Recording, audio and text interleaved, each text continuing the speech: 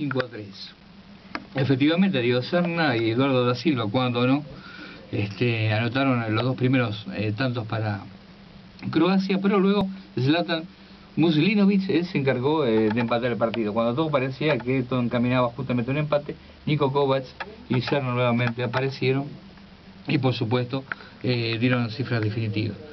Los goles de Bosnia, los goles de Bosnia.